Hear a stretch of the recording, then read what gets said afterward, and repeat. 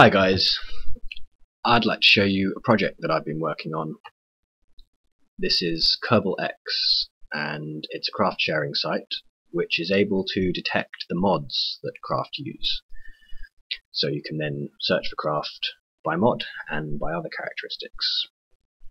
So um, say you wanted a stock probe from the VAB, you can hit stock, VAB and probe or maybe you want a mod aircraft. Or modded aircraft with and space planes. But the the main search power is being able to actually search by specific mod. So we open up this mod filters section and then let's search for a craft that has B9 aerospace. So let's come back with seven craft all of which have at least one part from B9. Um, let's also add CAS into that as well. Now we've got three craft that have at least one CAS and B9 part. Let's limit that to VAB craft. Um, so if we go and look at one of these, on each craft you get, if it's a mod craft, you get an automatically generated mod list with a count of the number of different parts from each mod. Um, on all craft you get a set of basic info which says um, what its part count is, what its root part is, uh, number of stages it has, and also it lists the resources that it found in the craft file. Um, there's a section for action groups um, you have to enter the action groups manually unless the craft has a B9 info drive, in which case it can read the data from the info drive and populate this automatically. So this one, the action groups have come from the B9 info drive. And then you can change that later yourself as well. So let's go back and we'll do a different search. Um, I'm going to clear B9 and CAS and turn the VAB filter off and let's search for a craft that has remote tech. Now say you were just getting into remote tech and you wanted a craft that had only remote tech and stock parts, not a whole bunch of other mods. So these all have quite a few other mods with them. Um, but we just want remote tech. So we're going to click add stock parts. So it's added NASA mission and squad. The site treats the stock parts basically as if they were mods and treats NASA mission and squad as separate things so you can um, be more specific with your filters. With the include selected mods on, it's come back with a craft that has at least one part from each of these, but it's also this craft has seven mods on it we just want remote tech and the original stock parts. So I'm going to get rid of NASA mission and then I'm going to switch this only filter on. The only filter is like the include in that the craft has to have at least one part from the selected mods, but unlike the include, it can't have any other mods. So this craft has just got the original squad parts, the original stock parts, sorry, and Remote Tech 2. There's another way to filter by mods, and that is using this with selected mods. Now what this will do is it'll find craft that are compatible with the selected mods.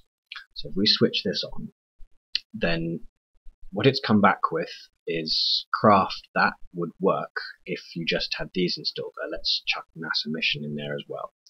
So um, if you just had remote tech on top of the base game, then these craft would be compatible. But what it's actually come back with is mostly pure stock craft. So let's filter out the pure stock by switching the mod filter on. And now we've got the one modded craft that would work if you had just remote tech installed. So the idea of the with filter is you put in the mods that you have installed and it'll find you craft that will work with your setup.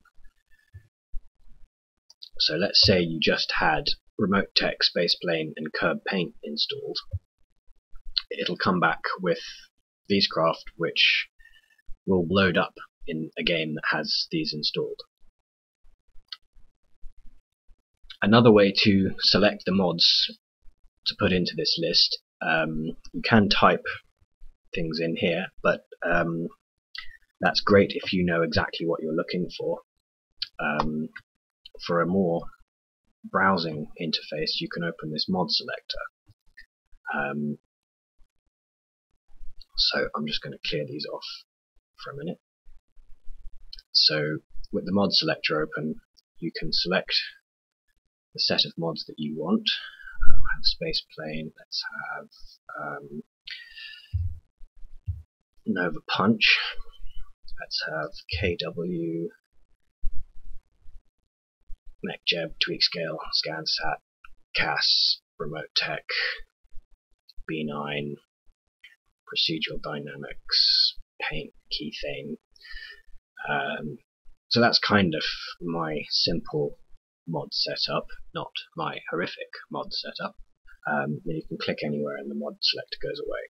So if we had this little lot installed, then it's come back with craft that will work with that setup.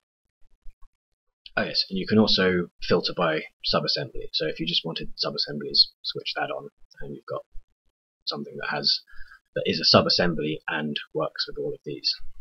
Or if you don't want subassemblies, switch craft on. Okay, so to upload your craft, you need to be signed in, and then you can click Upload Craft, get your craft file, and drop it on there.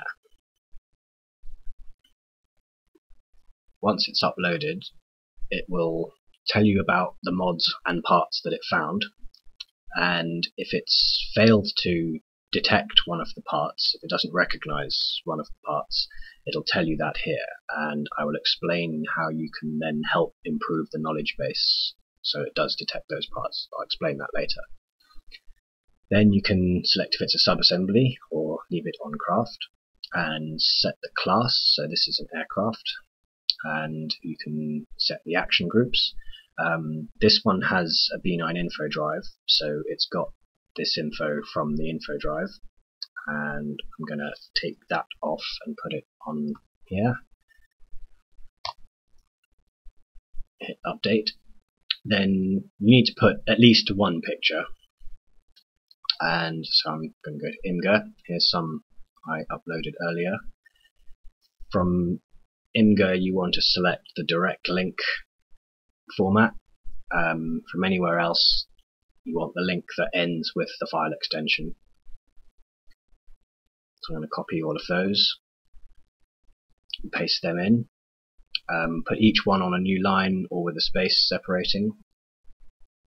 If you have a video, you can put the URL for that in there. And then you can set some hashtags. So I'm going to say this is a six man and crew transport. It will also suggest commonly used hashtags as you type. Those don't apply. Then hit next and it will create the page for you. It'll lay the page out depending on how many pictures you gave it. Um, you can choose from a number of different preset templates, so uh, basic 2 has a layout like this with the details down here and the rest of the pictures at the bottom, or layout 1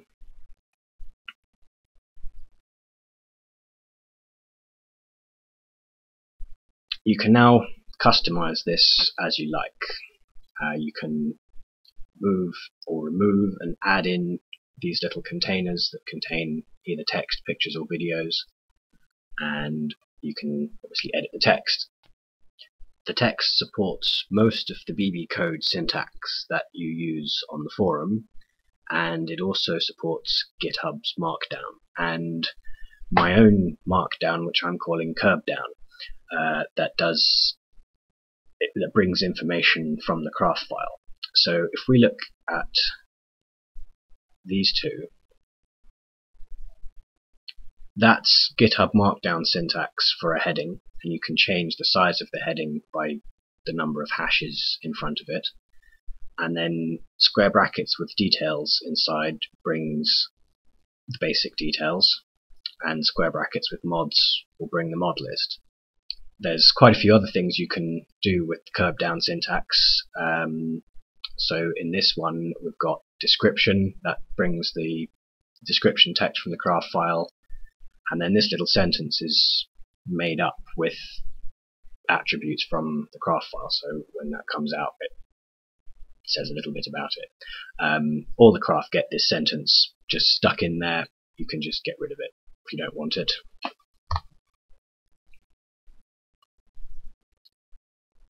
Um, so actually, I don't think I want the description from the craft file. So I'm going to take that out.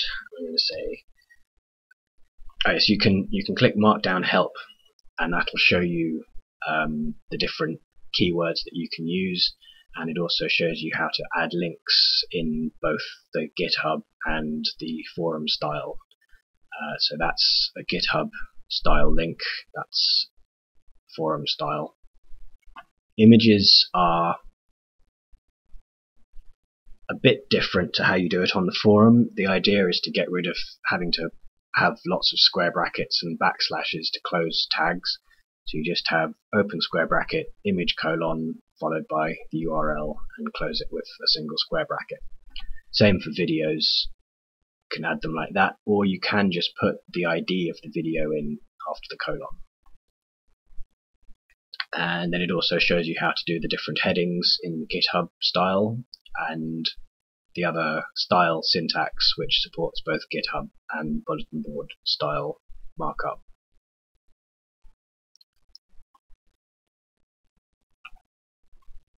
Okay, so I'm just going to change this to say a very in italics fast craft 317 meters a second at sea level and click out and it updates um, I also want to change the layout of this page. I don't want this, so I can just hit remove on that, get rid of that. Um, I'm going to move this so it goes down below description. Uh, let's make this image bigger. let's make that one size smaller and make these two bigger.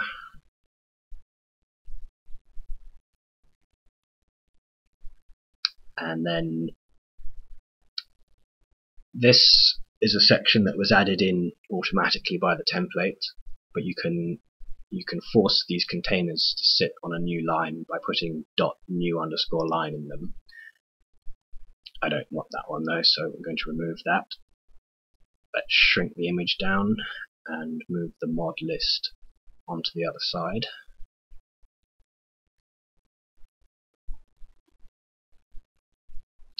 and then we can click view up here. And it's forgotten about the image size. So we can go back and hit edit.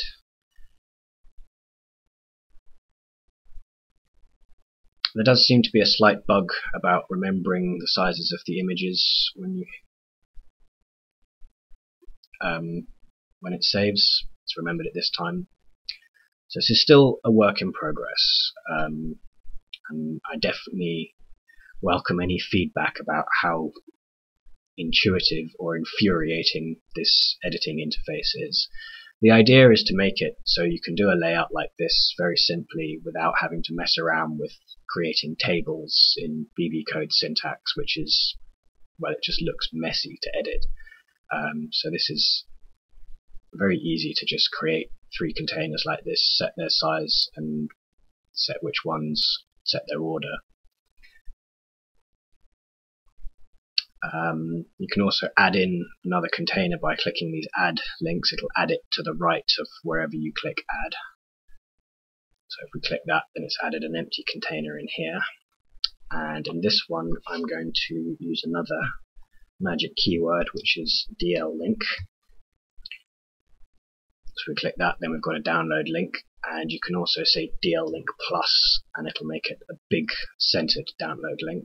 And then let's stretch that across the width of the page so it's centered.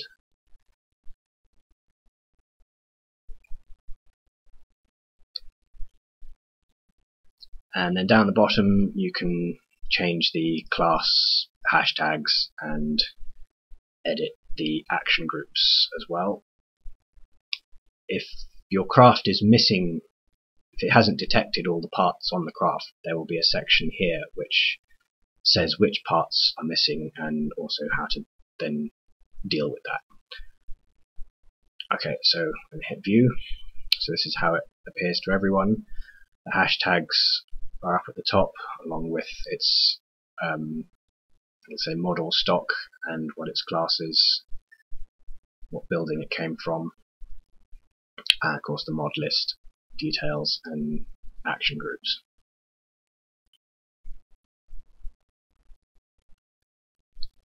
And there it is on the search at the front because it's sorted by date. So the site can only identify mods and parts that it knows about. Um, so if we go and look at this craft, for example, it's got a red marker at the top. And if you click that, it takes you down to this note, which says that it's got some unrecognized parts on it. And it's got three parts that are not in the knowledge base. So if you upload a craft and you find that it's not detected all of the parts on it, then what you need to do is to upload your part map.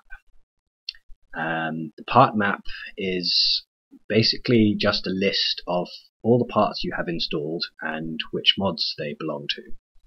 And you generate the part map using this part mapper tool. So download the part mapper and download a authentication token which will authenticate your upload with the site and also associate it with your account. And so let's go and that and I'll go into my KSP folder. So this is the set of mods I've got installed in this KSP. Um, so we get the part mapper and can just put the exe in there. If you want it to ignore some mods, i.e. if you're a developer and you don't want mods that are in progress or things that you've customized to go up, you can just add them in under here. So if we put in squad, then it would ignore squad. Obviously, we don't want to do that. Put your authentication token in there as well, and then run the part mapper. So it scans all of the parts. It's discovered 979 parts and then it'll send up the information about each mod. Now in this case I've already uploaded my part map for this install so it's saying that my information hasn't changed so it's not doing anything. Um, when you upload a part map that you've not done before it'll tell you what impact that has had on the knowledge base. So that just runs through and when it completes it'll actually close It stays open for a minute so you can look back over the log. And that's that. So once that's done, then you have improved the knowledge base and it'll know about more parts and mods. So if I go to my profile, then there's a section that shows my contributions to the knowledge base. On people's profiles you also get a list of the mods that they've built craft with and their most recently uploaded and most commonly downloaded craft. And you can also go and see just a particular user's craft and do the same sort of searches but just limited to a particular user's craft. You can also see a full set of mods that the site knows about here so it knows about 99 mods at the moment. Um, the knowledge base was reset a couple of days ago after its initial trial run and a few bugs being discovered and cleaned out. So it doesn't know about many mods at the moment, um, but the more part maps that people upload, the richer the knowledge base will get. So you can search for mods, and if you click on a mod, it'll show you what craft have parts from that mod, and it'll also show you a list of the parts for it. You can also go and view all the parts that are installed. So it knows about 2070 parts at the moment. Um, this can be quite useful if you're trying to find out where a part belongs to. Someone on the forum the other day was asking where um, Curb Pro came from. So I just bashed KerbPro in there, and there it is. It's from Hull Camera VDS. Uh, you can also hunt for users, and you can see who's online. People who've got little green triangles have uploaded um, part maps to the knowledge base, um, and we can do a search for users so you can find specific people and find their craft.